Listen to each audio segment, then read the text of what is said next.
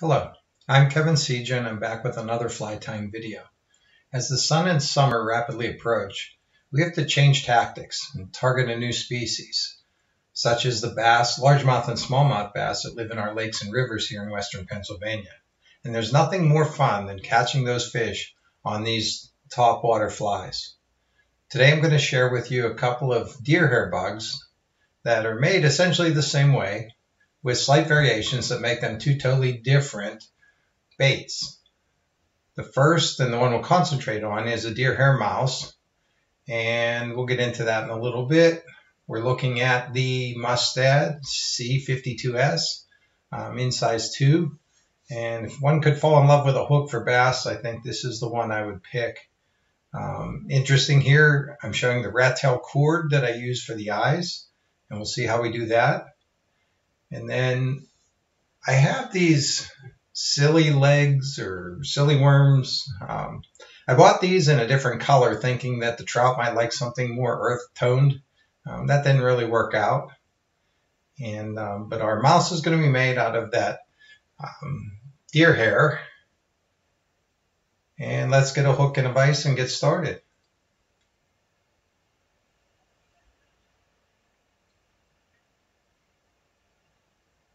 So I have some Superfly and 3-aught. These are deer hair bugs and we're going to be using heavier thread than we were using in other videos and for the smaller flies, trout patterns. And uh, this stuff is almost unbreakable and I use it a lot of times for spinning deer hair. Um, in this case, we won't really be spinning the deer hair. You'll see that soon. So what we're going to do is use some of this um, UV pink dubbing and build up a little ball here at the tail end of the, the hook. And I'm also going to use a layer of dub thread to hold that um, silly silicone worm uh, tail in place. That stuff is miserable stuff to work with and tie to a hook, and there are various methods of doing that. And one of the ones, and, and more appropriate in this case, is having some dubbing to wrap around the, the thread, and it seems to bite into that that silicone worm material pretty well. So it does slip around a little bit, and um, it's not an exact science, but it's pretty hard to pull this thing out once you get it tied in place. So a couple of wraps and a good pull tight on that thread, and um, it's in there for good. So we'll trim off the excess and throw a few more wraps in. And what I'm going to do here is put in a whip finish and we're going to put another hook in the vise and you'll see why in a second. And I mentioned that there were two bass bugs that we're making. Essentially they're made the same way but slight variations make them two different baits. So one of the variations is the tail, right? So we have a, a Sili Legs tail on this one, and it'll become a mouse. Um, we're looking at that pink ball of dubbing. Um, there was a fellow who did this in another video, and he, uh, I don't know, it's kind of an aiming point for a, a fish chasing a fly. Um, we needed dubbing anyways, and it, it seemed to be um, a good idea at the time. So let's get our thread started on another hook. And the difference here, the, the other bass bug that we're going to make is a deer hair frog. And you know, of course, frogs have legs. And one method of imitating frog legs on the back of a bass bug is to um, tie a couple of feathers back there, and especially the curved ones, and aim them out away from the hook or away from each other and uh, they more or less they kick around back there and they simulate legs. So same thing here. We'll use a little bit of uh, dubbing, create a ball, and use it uh, as a little bit of a target on the back of the hook, but also to hold those those feathers that we're going to tie in, um, hold them out away from the hook or to help divide them. So there's my ball dubbing and we'll bring in almost any hen hackles, even some saddle hackles would work for this, but Um, I like to put two on each side. These are barred black and olive. Uh, I bought a, I think it was a Chickabou pelt, and it, it's very useful. There are many different feathers on it. Some of them are marabou-like, and I can use them on nymphs and woolly buggers and other things. And then I've used these feathers, the longer ones, I'll, I'll wrap, use them for um, wrapping and adding feathers that way in certain fly patterns. And then they make good um, feathers for various streamers, and in this case, the legs on this bass bug. So you can see I didn't actually strip them all the way up to the point where I tied them in. Um, I started doing this. I don't know if it holds them any tighter, um, but I don't have to have them all stripped to the exact same length before I start. I can kind of just peel them back, set the length, and, and tie them in. So I don't know if it's a real time saver. It's just something I learned to do. So in this case, we'll throw a few more wraps. And I think I'll also add a drop of super glue. Head cement would work as well. Um, I'm going to put a few more wraps here and whip finish this, and then I'll set it aside, and we're going to switch back and, and finish our mouse. But I wanted to show you what I do for a tail on the frogs.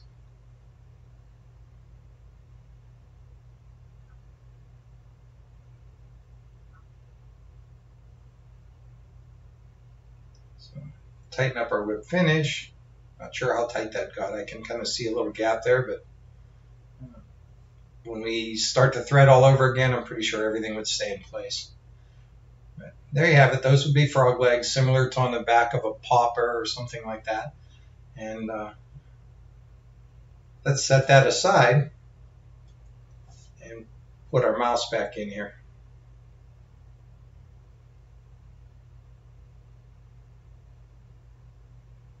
Of course, when you have OCD, the hook has to be perfectly level. And you don't notice it so much until you see it on a camera. What we're looking at there is some, I believe that's 3-aught, and I believe it's Danville thread. I was going to take the bobbin apart and show you which thread it is. Uh, and I realized that the little sticker that was on the end of the stuff fell off uh, a long time ago. So I bought several spools of this stuff originally when I bought it. I was using it for anything that required copper wire or something like that. I was trying to use thread, this thread as a substitute, but I found it's pretty, pretty durable, real strong, and and not a bad thread for uh, spinning in deer hair.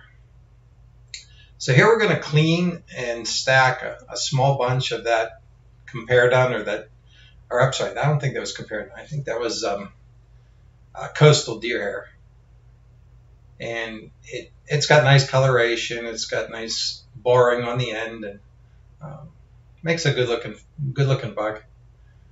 But we just want a little batch here to kind of get started, and I want to cover up the top half of that hot spot on the back of this where the tail's tied in. So kind of get that wrapped around on top. Now we won't really be spinning deer hair here. You could, and you could just take the body hair and spin it up and let it flare out and trim it to shape. But I like the effect of having the, the tips stay on top. And I've seen several guys tie, mouse patterns this way. And, uh, I don't know, it makes a good looking fly. So trim the butts off in this case.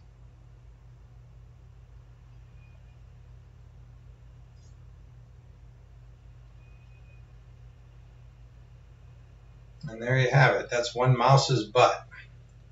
And we're ready to get started with the, the body. And it's going to be a little bit repetitive. There are about five sections of this deer hair. Um, we clean it out. There's a lot of fuzz in this stuff. And you want to take that out so that it doesn't spin around the hook or we still want it to flare. Um, but we really want to hold the, the tips of the hair on top. So let's get this piece stacked and get it back here.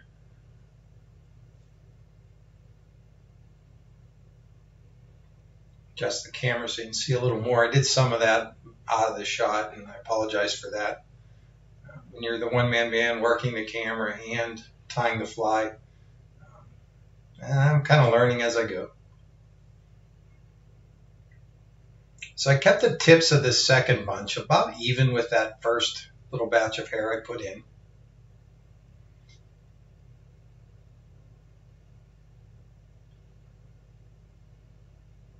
And one little trick here is you'll see if you hold the bobbin straight above, pull it up between the hair and pull it straight up, it helps you divide the hair so that you can pull it down. And a key to this fly is to leave those tips on top pull the rest of that hair down, and then it'll flare a little bit. Some of it gets in the way, as you can see. Um, but you want to wrap back over it and kind of angle it down and back. And then, so the hollow, you know, more full-bodied hairs on the bottom. Um, that's interesting there too, and I should mention that. Though. There's those hollow hairs, if you get a couple of stray hairs on top, they, they pluck out pretty easy, easily. So again, this is kind of repetitive. We'll get a batch and we'll clean it. Uh, it's a good time to mention. I've heard that you know people try and give you an idea like I want I want to use a pencil width of hair. In fact, I don't even know if kids today even know what a pencil is. Um, but I use a pencil width or I use a, a, hook gap's worth of hair or something like that. Um, I don't know that any of that gives you the right idea or helps you. Um, seeing it kind of helps, and the videos make it easier. And this is probably a good time to mention. I put this in one of my books, but I've had to do this wrong quite a few times to make it look easy or easier when I actually do it here. So there's no substitute for experience. You know, and every hair is a little bit different. And, um, you'll just have to, you know, work at it. If you don't like what you see, cut it off and, and do it again. So each batch gets, at this point, a little bigger and a little shorter. And we're, we're starting to build that, you know, that little hunched up back of the mouse here. And you can see I pulled the thread straight up again. We gathered up the rest of the hair and pulled it underneath and back. And we're going to wrap back over it.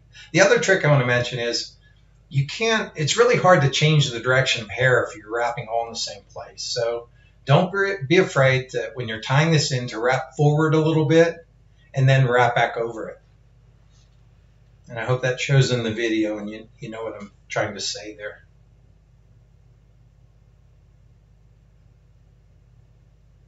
So another big bunch of hair, clean it out. If I was a better video editor, I may have um, put this stuff in high speed and, and raced you to the end, but again, I apologize and I'm sorry for the extra few minutes it may take to get to the, the end of this fly. So we go all the tips into the stacker, give it a couple of wraps the tip ends toward the back. We don't want to be flipping this in our fingers too many times. Um, it'll make it uneven again and defeat the purpose of stacking it.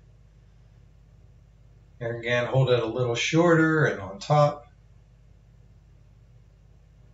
I spin my thread a little bit to cord it up and to make sure it doesn't jump too far forward. Two or three wraps.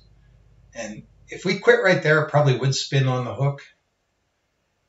But the uh, if you go those couple of spiral loops forward through the, the hair that's flared out, um, and then wrap and work your way back over, it really doesn't want to spin. Another thing here is a lot of guys like to put in a little drop of head cement or something in between bundles of deer hair as they spin them or tie them in. Um, that's not a bad idea. You can do that if you want to. Uh, keep it away from that silicone leg. A lot of the head cement will uh, will kind of eat through the silicone. And then we just did a, a quick look at the bottom. You can see the hair's flared out pretty evenly. And here I'm all excited. I'm, i want to show you what we do with this rat tail cord. And uh, I started to, to put that in here. I know the eyes go in next, but I'm not quite ready for them. But here we cut off a piece. I'm showing you the tip of a, a cigarette lighter. and uh, we kind of meld each end of that cord And you get a nice little beady eye on each end that looks like what you would find on a mouse. So the trick there is to kind of figure out how long. If I want something about 5 sixteenths of an inch at a finished length, I, I about double that. I think the original piece was 5 eighths. And I melt each side, hold it and melt each side until I get the length that I want. And there again, a little experimentation. The, the measurements are for reference and the real thing might be something different. Um, the other thing to note here is if you're doing bigger bugs, and when we do the frog, I was using paracord instead of that rat tail cord. It's a little bigger in diameter to start with, and it produces a little bigger BDI. So we'll brush out the deer hair, make sure it's kind of evenly spaced and flared out.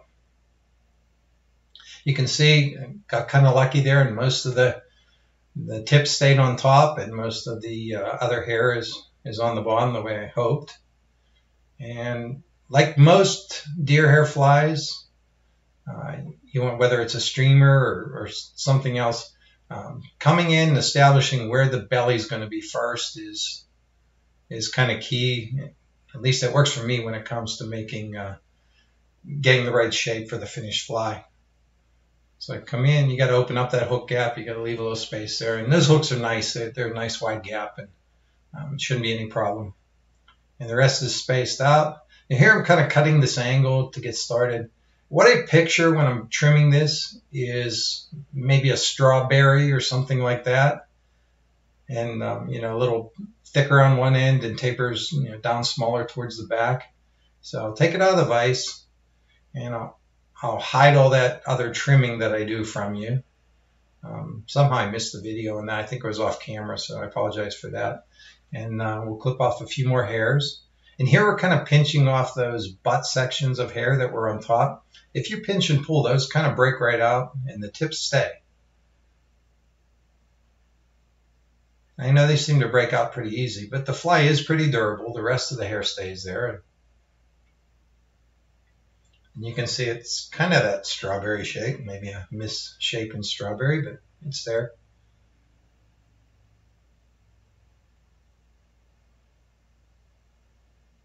and we'll get it back in the vise and level it up and preen it a little bit just to make it look more like a mouse body. And it's not packed real tight. You can see that. Um, if it gets kind of wet and floats a little lower in the water, I, I don't think that's a bad thing. Um, of course, you can treat it, make it float higher if you need to. And the uh, foam on the front helps kind of raise it, the shape of it helps kind of raise it back up and with each tug.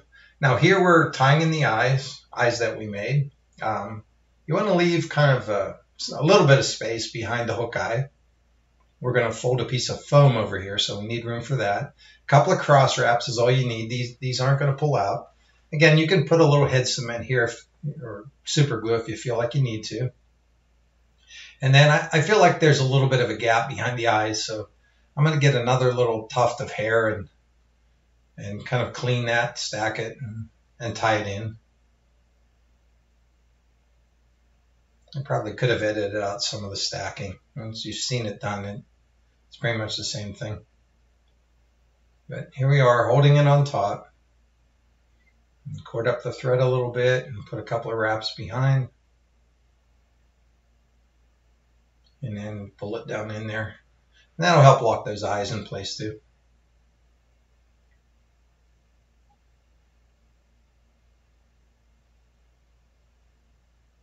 And we'll trim those butts out. Being careful not to cut out too much of the hair behind those.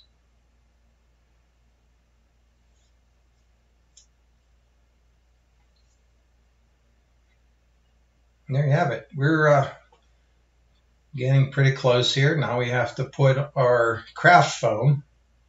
And I kind of mark with a pen the width that I'm shooting for, just a little less than the width of the eyes, so that those little beady eyes poke out the sides. So here's our strip. It's probably a little over an inch long. We're going to fold it in top and bottom. Um, right now, again, off camera because I didn't zoom out. Um, putting a needle through, a bodkin through in about the middle, and that'll help us push it over the eye of the hook.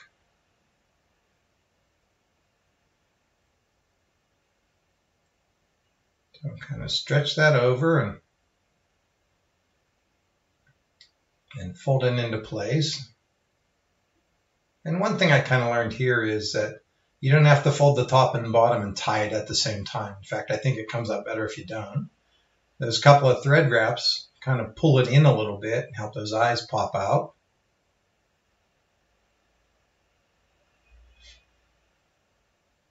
And we'll kind of do the same thing underneath. Fold it, squeeze a little bit, put a couple of wraps to hold it in place.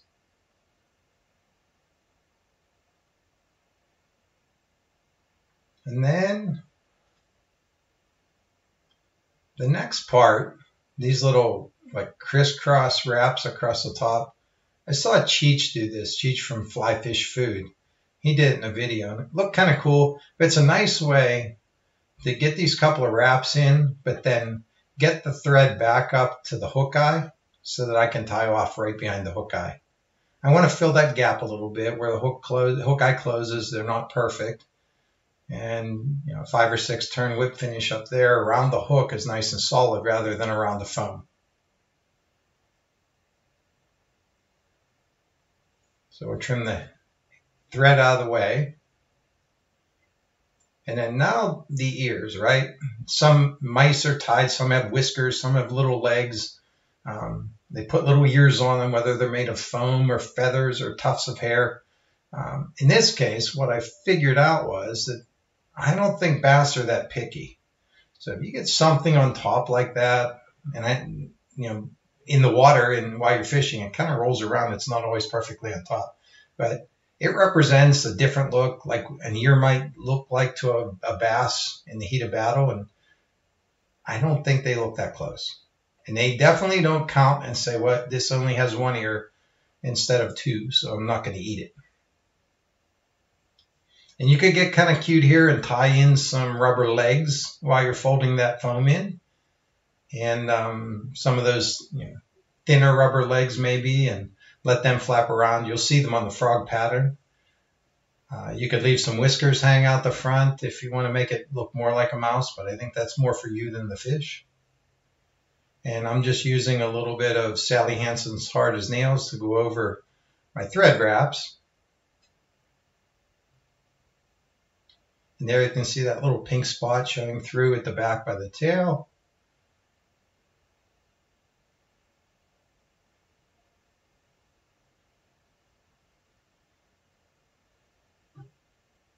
I've done some of these with leather for tails or um, rabbit zonker strips that are trimmed.